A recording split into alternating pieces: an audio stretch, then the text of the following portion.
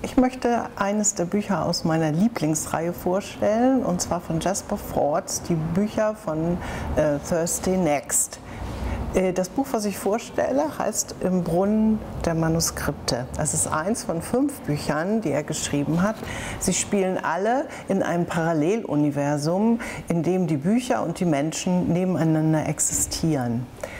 Die Menschen äh, leben in einem fiktiven Staat, Großbritannien, und dieser Staat ist äh, so ein bisschen aus der Zeit gefallen. Er befindet sich noch im Krimkrieg, es gibt eine autonome Republik Wales und die Aufgabe von Thursday Next ist es immer, äh, die literarischen Gestalten von den Menschen zu trennen. Sie gehört einer Spezialeinheit an und sie erlebt dabei ganz viele Abenteuer. Sie muss in die Bücher reingehen, muss teilweise was in Ordnung bringen, was für Schrecken sorgt. So ändert sie zum Beispiel den Schluss von Jane Eyre.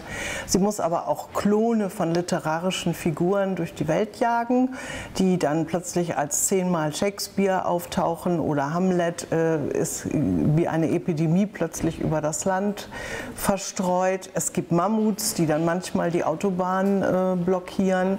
Ihr Ehemann, von dem sie ein Kind bekommt, wird äh, genichtet. Er existiert nicht mehr, auch nicht in Erinnerung der Menschen. Und sie muss in diesem Buch hier, muss sie in den Brunnen der Manuskripte, dort wo alle Bücher entstehen, eintauchen und als Nebenfigur in einem unbedeutenden Kriminalroman sich verstecken, damit sie nicht selber wiedergefunden wird.